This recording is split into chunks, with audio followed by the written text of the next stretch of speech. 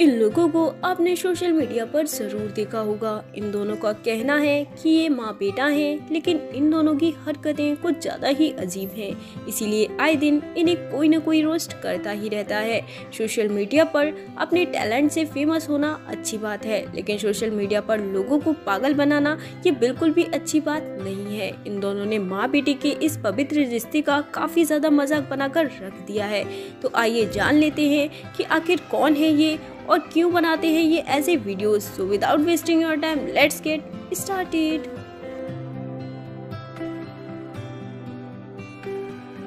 Instagram पर संतूर मम्मा के नाम से फ़ेमस हो रही का नाम रचना है। लोग इनकी एज को देखकर काफ़ी ज़्यादा हैरान हो जाते हैं, क्योंकि लोगों को अक्सर लगता है कि ये शायद इनकी स्टेप मदर होंगी, क्योंकि इनकी उम्र काफ़ी कम है और इनके बच्चे काफ़ी ज़्यादा बड़े बड़े हैं और इनके हस्बैंड देखने में इनसे काफ़ी ज़्यादा बड़े लगते हैं। तो दरअसल रचना की शादी कुछ ज़्यादा ही जल्दी हो गई थी, तब ये सिर्फ़ चौदह या पंद्रह साल की थी और इनके हस्बैंड उस वक्त काफ़ी ज़्यादा बड़े थे, जिसके बाद इनके दो जुड़वा बच्चे हुए, जिनका नाम परी और रुद्र है। इनके बच्चों की उम्र अभी 14 साल है, रचना फ़िलहाल 35 इयर्स की है। लेकिन इन्होंने खुद को ऐसे मेंटेन रखा है कि इनकी उम्र ज़्यादा नहीं लगती है, और इसीलिए वो दिखने में टीन एजर्स की लगती हैं।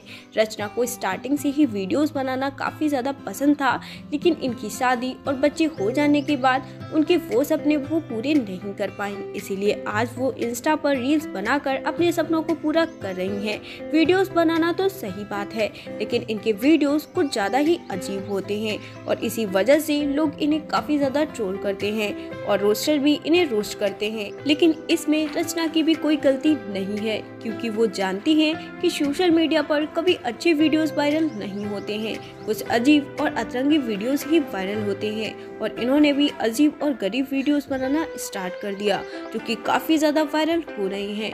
सोशल मीडिया पर वीडियो बनाना गलत बात नहीं है, लेकिन सोशल मीडिया पर ऐसा कुछ मत करो जिससे आपका मज़ाक बन जाए। फ़िलहाल लोग इनके अजीब वीडियो को देखकर यही बोल रहे हैं कि ऐसे वीडियो से माँ बेटी की पवित्र रिश्ते का मज़ाक बनता है। अपने घर में ये कुछ भी कर सकते हैं, लेकिन पब्लिकली अगर वो किसी चीज़ को डाल रहे हैं तो उन्हें थोड़ा सोच समझकर अपलोड करने की ज़रूरत है। तो आपका इस पर क्या कहना है? हमें कमेंट करके ज़रूर बताएँ। अगर वीडियो पसंद आया हो तो लाइक शेयर और हमारे चैनल को सब्सक्राइब कर बेल आइकॉन को प्रेस कर दें, ताकि हमारे हर न्यू अपडेट का नोटिफिकेशन आप तक पहुँच सके। गाइस अगर आप हमारे साथ इंस्टाग्राम पर जुड़ना चाहते हैं तो हमें वहाँ फॉलो कर सकते हैं। वीडियो देखने के लिए धन्यवाद। मुलाकात होगी अगले वीडियो में। ऐसी ही प्यारी सी अनटोल्ड स्टोरी के साथ। तब तक के लिए बाय एंड टेक केयर